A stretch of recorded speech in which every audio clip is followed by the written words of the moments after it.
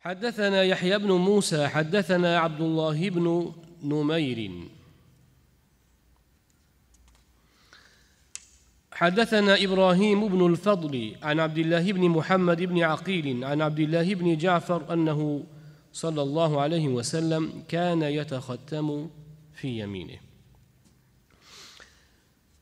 abdulloh ibn jafar roziyallohu anhudan rivoyat qilinadi boshqa san'at bilan u kishi aytadilarki nabiy sollallohu alayhi vasallam uzukni o'ng qo'lga taqar edilar.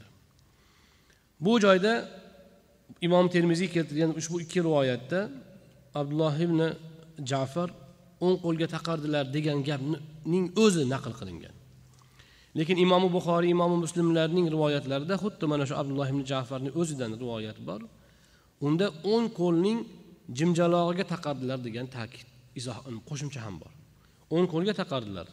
Taqqanda ham jimjaloqqa taqardilar.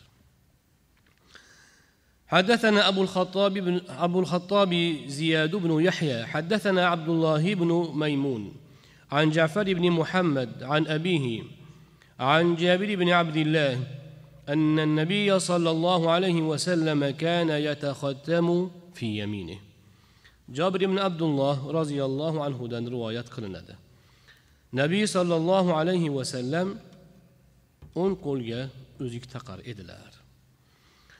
حدثنا محمد بن حميد الرازي حدثنا جرير عن محمد بن اسحاق عن الصلت بن عبد الله قال كان عب كان ابن عباس يتختم في يمينه ولا إخاله إلا قال كان رسول الله صلى الله عليه وسلم يتختم في يمينه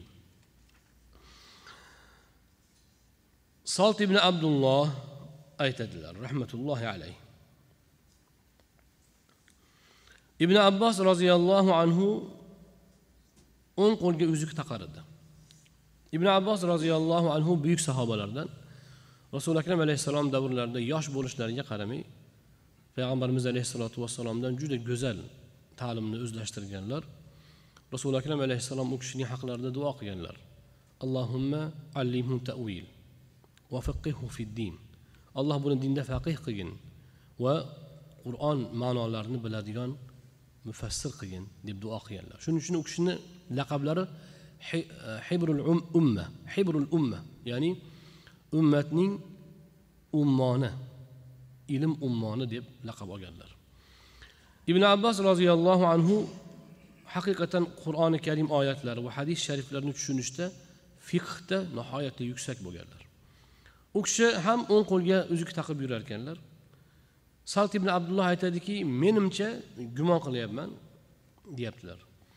Gumonimcha nazarimda ibn abbos rasululloh sollallohu alayhi vasallam o'ng qo'lga uzuk taqardilar deb aytgan ham edi deydilar.